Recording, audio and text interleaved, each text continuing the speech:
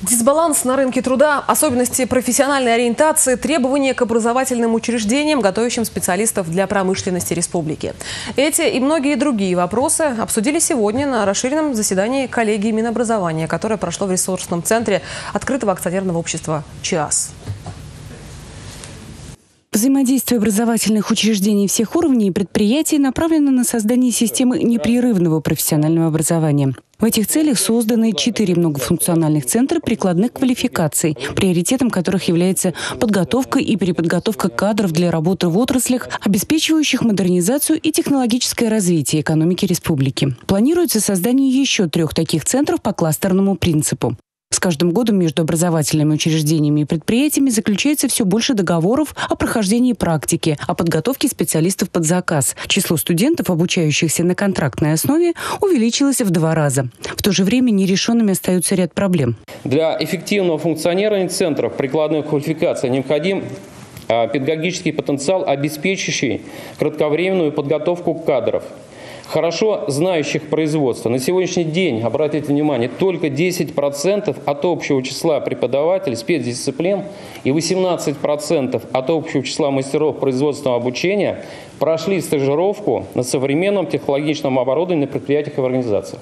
Кроме того, нет устойчивого спроса на выпускников, владеющих навыками работы на современном оборудовании, так как работодатели просто не могут обеспечить им соответствующие их компетенции рабочие места. Ограниченное количество часов, выделенных на профориентацию в школьной программе, также не позволяет вести ее качественно.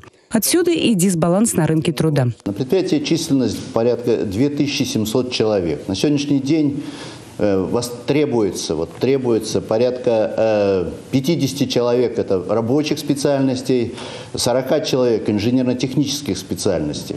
Этот дефицит э, нельзя восполнить с улицы, потому что готовых специалистов такого уровня, а требуются именно высококвалифицированные специалисты, их просто нет на улице. Глава Чувашии Михаил Игнатьев заметил, в числе факторов, определяющих инвестиционную привлекательность региона, один из важнейших – кадровый потенциал. Известно, что в Чувашии всегда была развита электротехническая школа. Власти намерены и дальше поддерживать инженерное направление. Первое, что мы сделали, приняли волевое решение. Вот в прошлом году 78 школьников, которые закончили и поступили на факультеты по специальности там, физика, математика, так скажу, 2000 рублей мы сейчас выплачиваем. То есть, кроме той стипендии, соответственно, депутаты Госсовета тоже поддержали. Небольшие деньги, но для того, чтобы они знали.